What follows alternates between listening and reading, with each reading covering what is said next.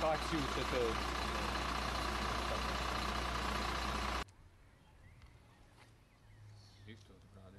Javno komunalno preduzeće Čistoće i Zeleno Subotica je krenulo sa akcijom e, dezinfekcije kontejnera koji su postavljeni na javnoj površini.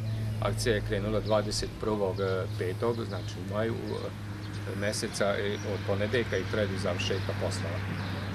U ovom okviru je obuhvaćeno 1000 kontejnera koji će biti dezinfekcijski obrađeni i okolina, ne samo sami kontejner, nego i okolina kontejnera gde su postavljeni.